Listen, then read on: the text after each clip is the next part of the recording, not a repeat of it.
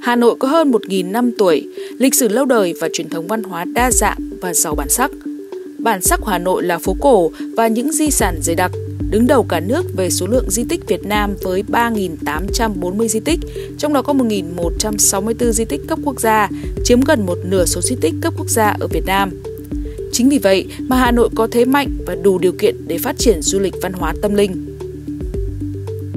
Hà Nội đang triển khai nghị quyết số 15 của Bộ Chính trị về phương hướng nhiệm vụ phát triển thủ đô Hà Nội đến năm 2030 và tầm nhìn đến năm 2045. Mục tiêu đến năm 2030 là thủ đô Hà Nội là thành phố văn hiến, văn minh, hiện đại, trở thành trung tâm động lực thúc đẩy phát triển của vùng đồng bằng sông Hồng, vùng kinh tế trọng điểm Bắc Bộ và cả nước. Tốc độ tăng trưởng GDP bình quân giai đoạn 2021-2025 cao hơn mức tăng bình quân chung của cả nước – Dự tính GDP giai đoạn 2026-2030 tăng 8 đến 8,5% một năm. GDP bình quân đầu người đạt 12.000 đến 13.000 đô la Mỹ. Tầm nhìn đến năm 2045 với GDP trên người đạt trên 36.000 đô la Mỹ. Kinh tế văn hóa xã hội phát triển toàn diện, đặc sắc và hài hòa, tiêu biểu cho cả nước, có trình độ phát triển ngang tầm thủ đô các nước phát triển trong khu vực và thế giới. Để Hà Nội khai thác được hết lợi thế của mình, nhiều chuyên gia đã trao đổi với báo Kinh tế và Đô thị, bày tỏ quan điểm, đóng góp những ý kiến sắc đáng giúp thủ đô thực hiện đúng tinh thần nghị quyết 15. Sau đây là ý kiến của tiến sĩ Nguyễn Sĩ Dũng, nguyên chủ nhiệm Văn phòng Quốc hội Hà Nội về bản sắc, sức hấp dẫn của Hà Nội là một lợi thế. Bản sắc, sức hấp dẫn của Hà Nội là một tài sản.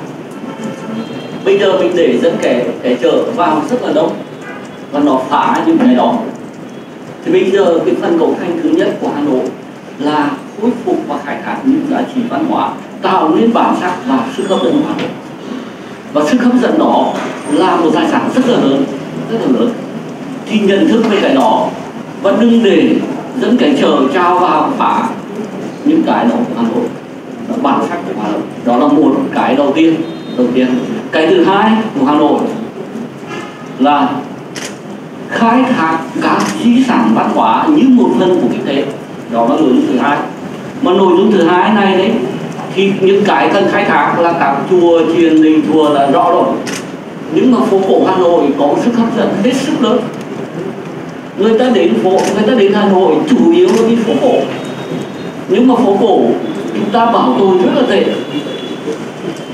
Bây giờ đó là một viên ngọc quý của hà nội như vậy thì nếu mà Hà Nội đình tính cái chuyện là giải tỏa toàn bộ dân ra khỏi đó để làm ấy là Hà Nội rất sai. Bởi vì cái phố cổ đó không chỉ là nhà, phố cổ đó là lối sống của dân Hà Nội đấy. Tức là những chỗ quá tải thì mình phải giãn ra để nó còn mái nhưng mà cái hồn của phố cổ, cách sống của phố cổ, văn hóa của phố cổ, nó phải lưu được. Thành thử là nếu mà anh đi theo cách khác thì, thì anh phá tài sản đó anh chỉ có mấy cái nhà không thôi đấy anh giữ được hồn của phố cổ mới là cái thu hút. Và phải có một quy hoạch rất rõ để anh khai thác cái đó. Khu phố pháp là một cái anh phải khôi phục lại anh phải khôi phục lại cái tính hấp dẫn gắn kết và một giai đoạn lịch sử của đất nước. Thì bây giờ là mình phải được hết. Thì bây giờ bảo tồn và khai thác các giá trị văn hóa, các tài sản mà chúng ta có là rất quan trọng. Và phải đánh giá tài sản nào hơn tài sản nào. Tôi xem một nhiều cái dự án di rơi dân ờ, dân phố cổ mà để giữ tôi rất là băn khoăn ở chỗ là anh anh đang có kéo anh giữ hồn của phố cổ rồi hồn của khu phố phạm. Đó là những di sản. Và lên kế hoạch bảo tồn và khai thác cái đó.